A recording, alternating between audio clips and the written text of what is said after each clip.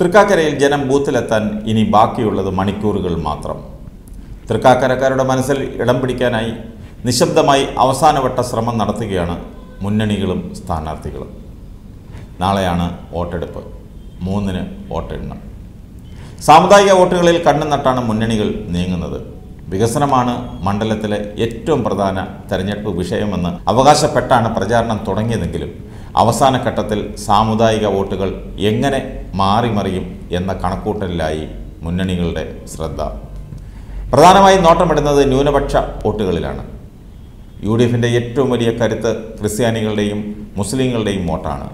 ആ വോട്ടുകൾ ഇക്കുറി എങ്ങനെ മാറിമറിയുമെന്നാണ് എല്ലാവരും ഉറ്റുനോക്കുന്നത്.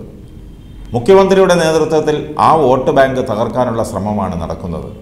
കൃത്യമായ ആസൂത്രണത്തോടെ യു ഡി എഫിന്റെ ഈ ഉറച്ച വോട്ടുകളിൽ വിള്ളലുകൾ വീഴ്ത്താൻ ഇടതുമുന്നണിക്കായി. അപ്പോഴും പി ടി തോമസിനോടുള്ള മണ്ഡലത്തിന്റെ സ്നേഹവും സഹതാപ വോട്ടാകും എന്ന ഉറച്ച വിശ്വാസത്തിൽ തന്നെയാണ് യു ഡി എഫ്. ജനം പോളിംഗ് ബൂത്തിലെത്തുമ്പോഴും യു ഡി എഫിൽ ചില ആശങ്കകൾ ഇല്ലാതില്ല. മുൻകാലങ്ങളിലേതുപോലെ വോട്ട് കേന്ദ്രീകരിക്കുന്നതിനുള്ള ശ്രമം വേണ്ട രീതിയിൽ നടന്നിട്ടില്ലെന്ന് ചിലരെങ്കിലും ചൂണ്ടിക്കാട്ടുന്നു.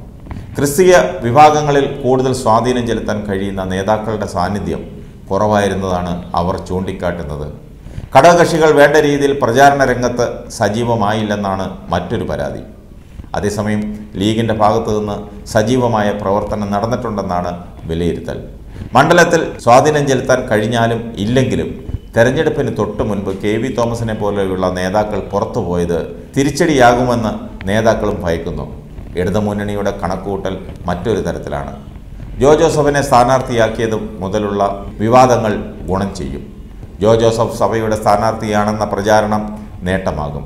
പി സി ജോർജിനെതിരെ സ്വീകരിച്ച നടപടികൾ മൂലം മുസ്ലിങ്ങളിൽ നല്ലൊരു ശതമാനം എൽ ഡി എഫിനെ പിന്തുണയ്ക്കും. മണ്ഡലത്തിൽ മുൻതൂക്കം ഭൂരിപക്ഷ സമുദായത്തിനാണ്.